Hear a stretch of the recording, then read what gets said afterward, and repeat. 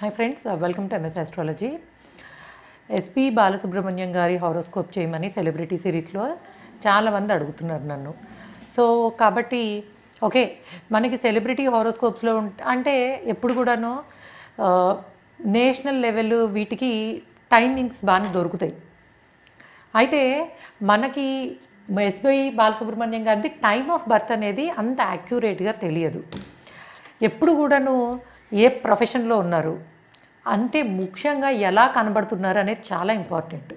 అంటే బాలసుబ్రహ్మణ్యం గారు చూడండి మనం స్టార్టింగ్ నుంచి కూడా ఆయన కొంచెం బొద్దుగా రౌండ్గా అట్లనే ఉండేవారు కదా. తర్వాత వెయిట్ పెరిగినా తగ్గినా ఫేస్ చూడండి లైక్ మూన్ కైండ్ ఆఫ్. యూజువల్గా కర్కాటక లగ్నమైన లగ్నంలో చంద్రుడున్న లగ్నాన్ని చంద్రుడు చూసినా యూజువల్లీ మనకి చబ్బీ ఫేస్ అనేది ఉండే అవకాశం ఎక్కువ ఉంటుంది.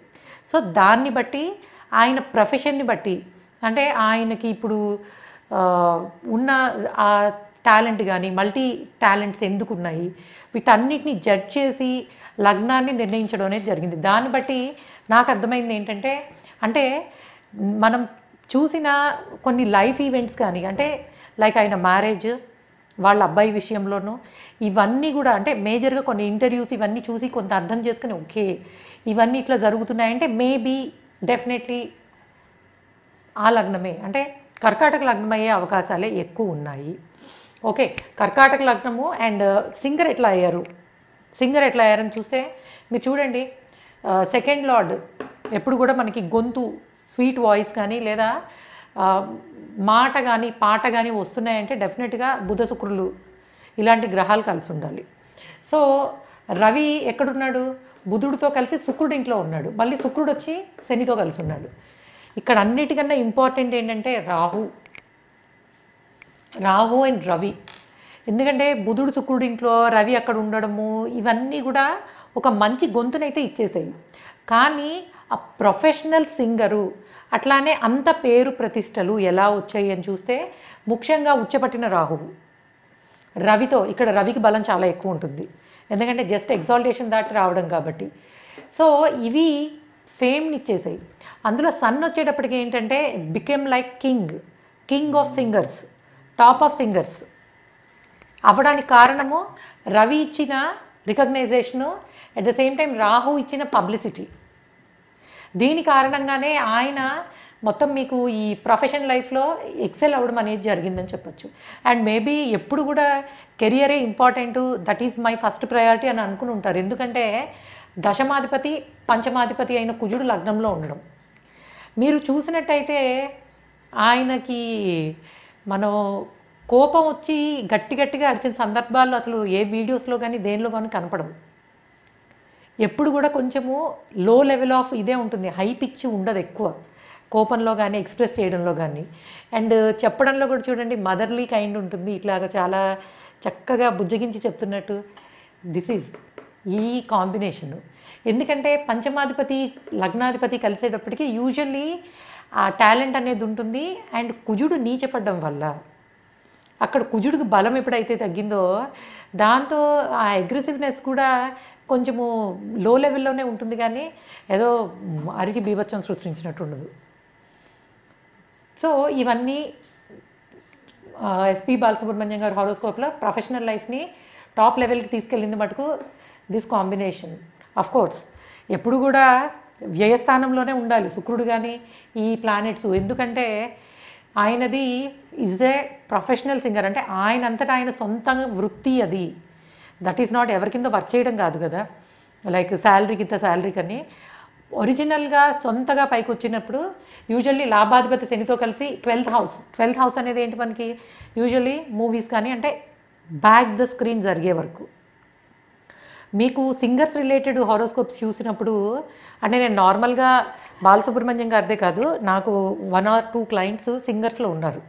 చూసినప్పుడు మోస్ట్లీ వాళ్ళకి ఎయిత్ కనెక్షన్ కానీ ట్వెల్త్ కనెక్షన్ కానీ రాకుండా ఉండదు. ఎందుకంటే ప్లేబ్యాక్ సింగింగ్ అనేది నాలుగు గోడల మధ్యలో ఎవరికి తెలియకుండా జరిగేది.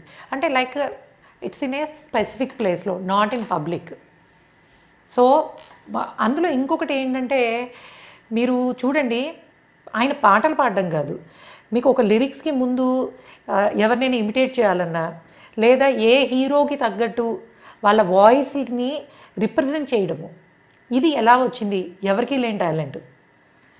ఎవరికీ లేని టాలెంట్ ఆయనకి ఎందుకు వచ్చిందంటే మనము కంజంక్షన్స్లో చూడండి బుధరాహువులు కలిస్తే మల్టిపుల్ లాంగ్వేజెస్ మాట్లాడే అవకాశం ఉంటుందని నేర్చుకున్నాం. ఇక్కడ ఏంటంటే బుధ రాహువులు నాలుగు డిగ్రీల్లో కలిసి ఉంటారు మీరు కావాలంటే ఆయన డేట్ ఆఫ్ బర్త్ తీసుకుని డిగ్రీస్లో క్లోజ్ కంజంక్షన్స్ ఎలా ఉన్నాయి చూడండి. రాహుకి బుధుడికి రవికి మధ్యలో ఫోర్ ఫోర్ డిగ్రీసే తేడా ఉంటుంది. సో దీని వలన ఏంటంటే యూజువల్గా బుధ రాహువులు అంటే వాయిస్ని ఎన్ని రకాలుగా కావాలంటే అన్ని రకాలుగా మార్చుకోగలగడం. గొంతుని ఎన్ని విధాలుగా కావాలంటే అన్ని విధాలుగా మార్చుకోగలగడం. సో ఇది డెఫినెట్లీ బుధ రాహుల్తో వచ్చింది. అండ్ uh, ఆయన సర్జరీ చేయించుకున్నారు గొంతుకు సంబంధించి. అది కూడా మనకి ఎందుకంటే బికాస్ ఆఫ్ బుధుడు and Rahu Ravi and more over లగ్నంలో కుజుడు ఉండడం.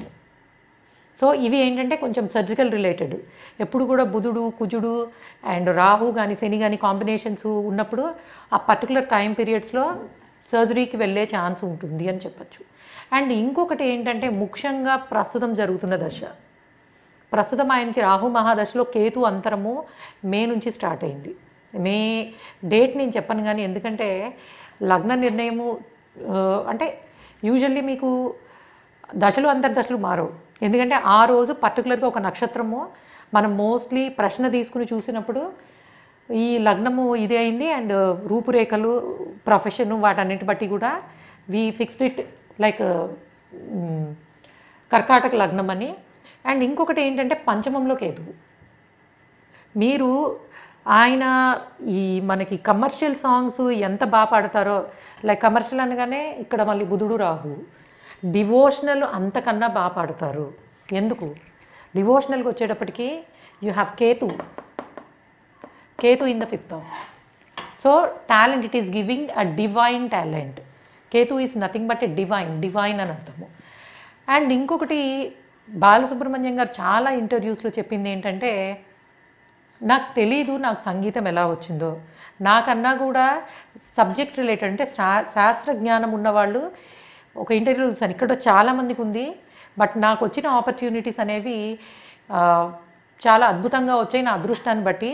బట్ మిగిలిన వాళ్ళతో కంపేర్ చేస్తే నేను అంత శాస్త్రబద్ధంగా నేర్చుకోలేదు వచ్చే ముందు అని చెప్పారు.